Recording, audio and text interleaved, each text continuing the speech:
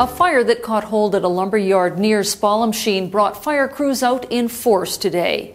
A charred piece of heavy machinery lay on its side in the Mardan lumber yard as crews from the Okanagan Indian Band Volunteer Fire Department fought the blaze. Within an hour, and with the help of a loader that created a fire break, crews had the fire contained to huge piles of sawdust near Highway 97. Smoke continued to billow from the piles. A witness at the scene said there had been concerns that the fire could have jumped into nearby forested areas. Kate Bouey for Castanet News in Vernon.